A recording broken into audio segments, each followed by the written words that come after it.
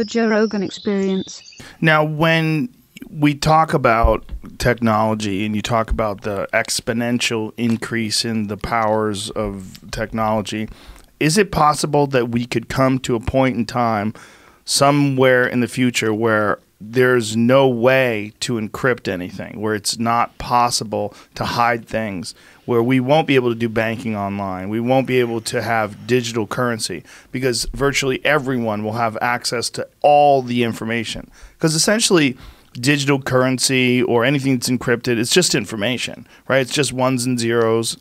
Is it possible that technology will reach a point in time where borders and boundaries are impossible? So, uh, one thing that a lot of people don't appreciate about cryptography is there's a really straightforward way to make completely unbreakable cryptography, and that's what's called a one-time pad. Where if you essentially have, um, you know, a long, you know, a very long set of data and it's private as long as nobody else has it. You can encrypt anything with it. And if it was generated randomly properly, uh, you always have to worry about flaws in your random number generation or your random number source but a properly generated one time pad is unbreakable. Now, the problem is it's finite, so you have a fixed amount of it. And all of the really serious spycraft would use something like that, where you've got a one time pad, you can send a message through it. In the old days, when you were manually doing it, you might only have a, a book with a certain number of pages, and once it's over, it's gone, and you can't get more without returning to base. But this is always a possibility. And as we've seen storage densities increase so much, the fact that you can get a little micro SIM card that's holding hundreds of gigabytes now, which is pretty remarkable, you could imagine a world like if we did have this quantum apocalypse where all of these short 512, 1024 bit keys, whatever, all of those just get smashed irrevocably. You could imagine a world where, I mean, heck, maybe people start implanting the one-time pad inside people. So whatever you know, whatever you need to encrypt that's coming from you has this, uh, you know, this clear, unbreakable key that you're working with. Do you think that we're going to have things implanted in our bodies soon that, that allow you to interface with computers or technology or wireless internet? I think that it's possible that it will. I it would. We have people that want to do that right now. In I fact, that woman, was she implanted a Tesla chip in her arm so that she could just get close to her car and the door would open.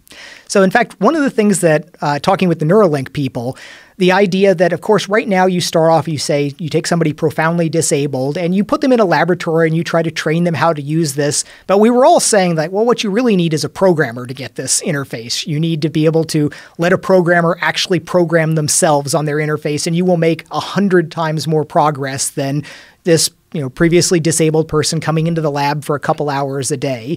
And it was funny the conversation there where uh, one of their guys was like yeah we'll give them the basic rules so they don't stroke themselves out. I'm like okay yeah that's kind of important. Talk about health and safety rules there. Mm. but uh, yeah if you start getting a programmer in there that starts running this so like all right, instead of just going through these basic exercises they run everybody through, you really understand exactly what you're doing and you change it, you write the code as you're experiencing it.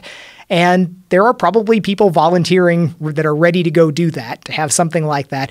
I read an article sometime after that about one of the early uh, neurosurgeons that did implant himself with some electrodes. He had to go to one of these uh, fringe countries that didn't have any uh, ethical guidelines around the, the medical practices or whatever, but he paid a neurosurgeon in one of those countries to implant an electrode into his head. And he even had some complications afterwards. It was like, now there's a dedicated researcher. Although, interestingly, there, there's the whole history of a lot of medical science where you would get people that would wind up having the conviction to do the experiments on themselves. And, you know, you've got to respect that, where it's one thing to, you know, make a grant proposal to set up a study to do all of this. And it's another one to say, damn it, I am so confident in this, I'm going to have someone cut a hole in my skull and implant this in me mm. so we can learn the lessons. What was his complications? Do you remember? Uh, he had some uh, some problems with speech afterwards. Oh, he had Jesus. to learn how to do that. Like half of his face had a little bit of a sag to it from the putting oh it in there. God. So yes, it was life affecting changes as a result of going with that. and this was name?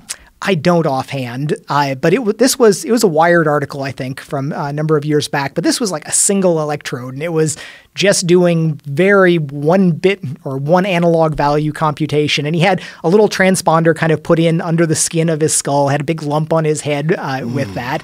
While interesting, again, the, the Neuralink stuff, all modern high tech, where you kind of power it with RF through the skull and it's got a little plug. And I, one of the first when Elon first kind of approached me about I kind of talking with them about that, the idea and the thinking, which was kind of insightful, was this idea that the I/O levels that they were doing on the Neuralink or they were planning on doing with that was fairly close to what we do on virtual reality, where okay, we've got theoretically maybe up to a million inputs here and a million outputs, and I can run those numbers and say, well, that's kind of like the cameras that we're taking in and the display that we're uh, we're putting out.